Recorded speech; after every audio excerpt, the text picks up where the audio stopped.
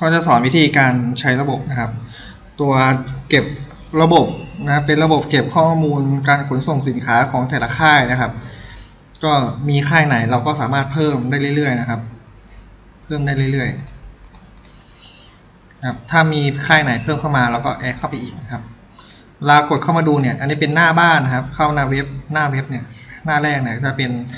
หน้าของคนที่ใช้ข้อมูลทั่วไปเฮ้ยอยากมาดูว่า Curly Fat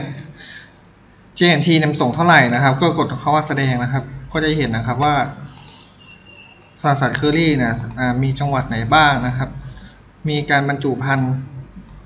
อะไรนะครับ ราคาเท่าไหร่ ตัวนี้ครับ แล้วก็สามารถเขียนรีวิวลงไปได้นะครับ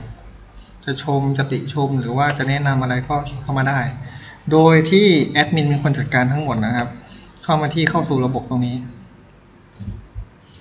เดี๋ยวผมจะเปิดให้ดูนะครับ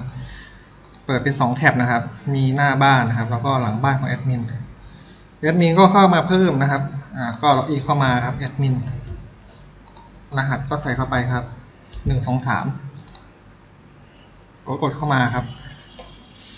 ก็จะมีข้อมูลพื้นฐานก็คือจังหวัดนะครับ มีจังหวัด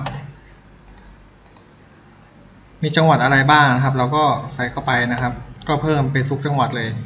ตอนนี้ก็เพิ่มให้ 7 จังหวัดนะครับ แล้วก็เพิ่มลึกเพิ่มไปเรื่อยๆครับ ตาม copy วาง copy วางเอาก็ได้ครับเดี๋ยวดูก่อนจำไม่ได้มีจังหวัดไหนยังไม่กรอกบ้างสมมติว่าจะกรอกตาดเข้าไปนะครับ ก็ใส่ตาดเข้าไป กดบันทึกครับ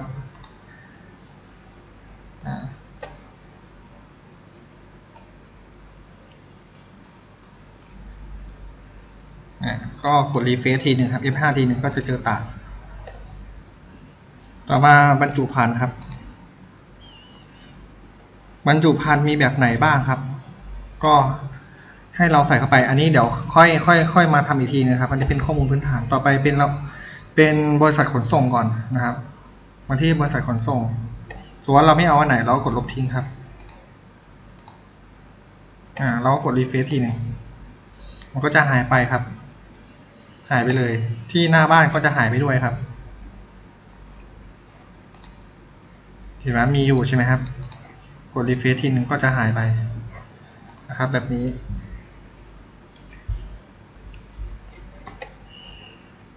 ต่อมาเรามาเพิ่มครับเพิ่ม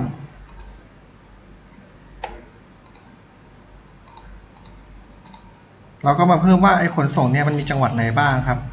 เราก็มากดเพิ่มตรงนี้ เช่นไปรษณีย์ไทยนะครับ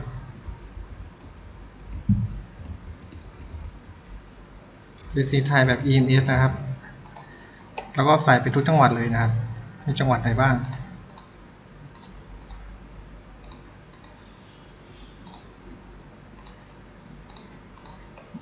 มันก็มาจากจังหวัดเนี่ยที่อยู่ตรงเนี้ย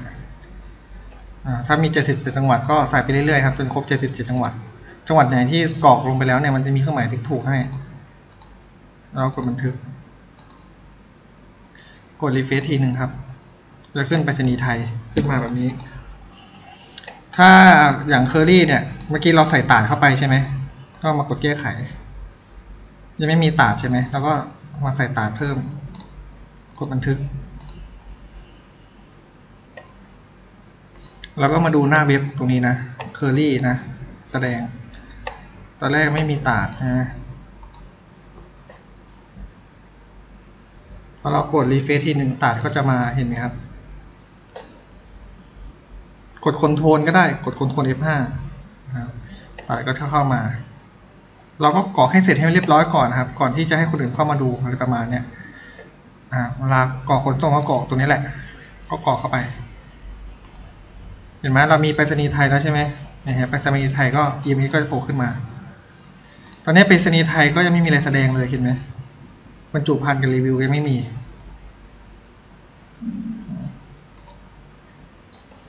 ตอนนี้ไปที่บรรจุภัณฑ์บรรจุภัณฑ์เราก็กดเพิ่มบรรจุภัณฑ์ก็เลือกขนส่งเลยก็คือไปรษณีย์ไทยบรรจุภัณฑ์สมว่ากล่องสมมติกล่องเล็ก ราคา 5 บาท น้ำหนัก 1 กิโล ระยะเวลา 2 วัน ค่าขนส่ง 50 บาท กดบันทึกนะ